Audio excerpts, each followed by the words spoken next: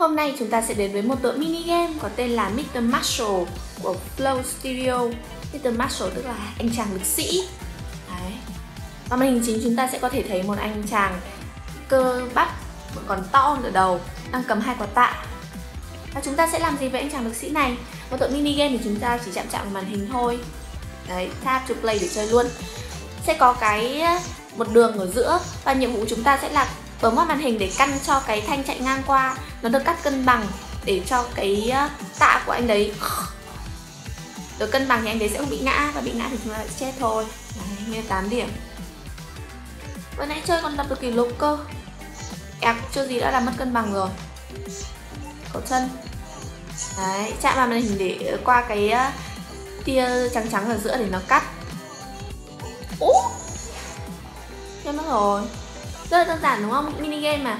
Cái game này chúng ta sẽ kiểu chơi uh, giải trí rất là vui. Kiểu giờ rảnh rỗi mà cũng không có giới hạn mạng biết gì ấy. Nhưng mà nhiều khi cũng không nhanh chán nữa. Đó. Thì vừa rồi là trải nghiệm của mình về tự game Mr. Marshall hoàn toàn miễn phí. Chúng ta có thể tải trực tiếp trên App Store. Chào tạm biệt và hẹn gặp lại các bạn trong các clip sau của yến vn.